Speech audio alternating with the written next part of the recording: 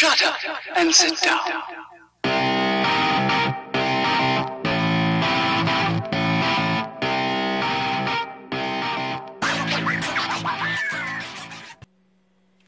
What is up, everybody? This is Jeremy from the STS Guys here with a continuing video from our coverage from Ace Comic Con.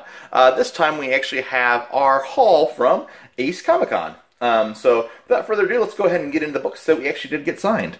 Um, coming from Larry's collection, uh, we actually have um, a book that has been signed by Michael Zeck.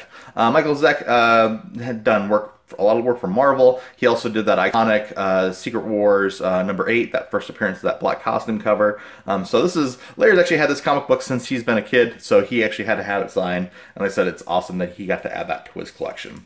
Uh, another thing that Larry's really into is The Simpsons, and so none other than great Simpsons artist Phil Ortiz was there. So he actually got a couple of books signed by uh, Phil Ortiz as well. So we have Simpsons Illustrated number seven. Um, nice thing about Phil Ortiz, super super nice guy. Like I said, he he was definitely you know want to talk with you, this that and the other. The nice thing about all the autographs there. We didn't pay more than five dollars for an autograph from anybody. So some people were free, some people like I said they they, they charged you know five dollars for. It. was like I said it was for an autograph. If you wanted an autograph, said it was super affordable to actually meet and greet your creators. And like I said, with the, with that autograph in hand, yes, I did for five bucks. So Phil Ortiz for five dollars. Not only did he sign it, but he also did remarks on the on these covers too. So so we have the signature here, and then we have the little little Homer remark there.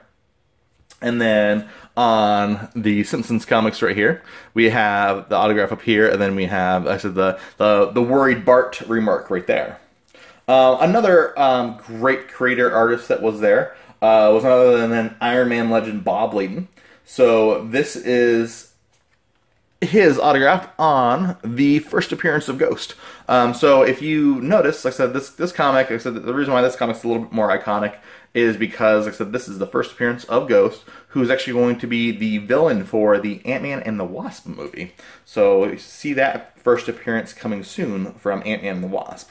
Um, the next creator, probably honestly the, the creator that I was most excited to see just because I had never met him uh, at a con before, uh, he was on my list of people to meet, was none other than John Romita. So we got a, a few different things signed by John Romita. Um, like I said, it's, it's one of those things where I don't necessarily have to get something CGC'd. I know I was there. Um, like I said, these comics are, are, are actually never going to leave my collection. So it's one of those things where I'm like, I know I was there. I met him. I have these autographs now. So one of my all-time favorite Spider-Man covers is is this one from um, uh, Spider-Man actually 44. Uh, so it's 43 here. This is they they kind of second volumed um, this. Let me turn that there so we get a little bit less glare. Um, we uh, I said awesome placement of this autograph. Like I said probably my favorite out of out of the the lot of uh, John Romita autographs we got. Probably my my favorite placement of it. Um, we also have uh, Fallen Son, the death of Captain America. Like I said, I wanted this one. Like I said, not just because it's like I said, I, I, like the way he, he drew his cap on here, but like I said, this the black cover. Like I said with the with the Jr. with the John Romita signature, awesome. Um, so he did the so J. Scott Campbell did the the cover of this book, and, and John Romita Jr. Uh, did the interior. Um, but so we also have Spider-Man 491. I love this cover. Um, I'm looking forward to meeting uh, J. Scott Campbell at another con so I can get this book signed uh, by him as well. Um, for some reason, I forgot that he did this cover when I met him before, so I actually didn't have him sign it. So I have, so now I officially have John Romita's signature on here. I just need J. Scott Campbell's.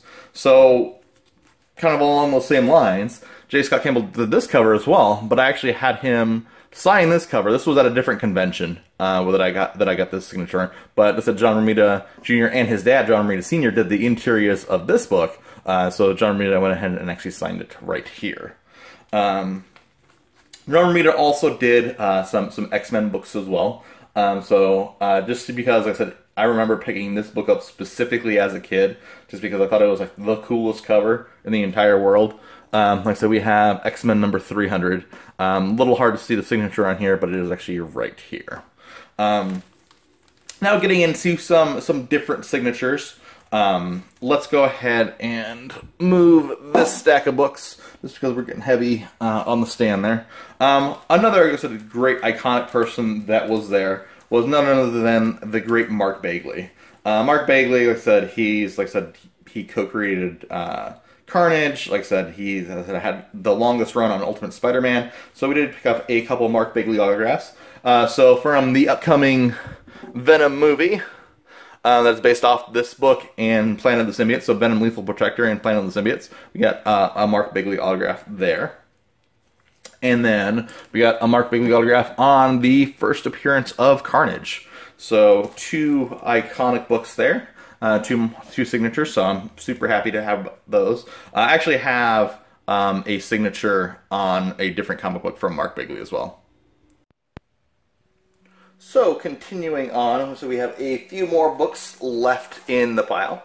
Um, so another artist was there, so current uh, Star Wars artist, uh, John Cassaday. Like I said, we got uh, his autograph on a Star Wars number one, so it was awesome to meet him. I said he was signing actually for free, so you didn't have to pay him. And kind of going back to John Romita too, so he was charging five dollars, but that five dollars was going to charity. So how awesome was that? Like I said, not only do you get to meet the, the great John Romita Jr., but like I said, he's charging five dollars, which is very very reasonable. But then you know, I said he's also donated it all to charity, like 100% of the proceeds.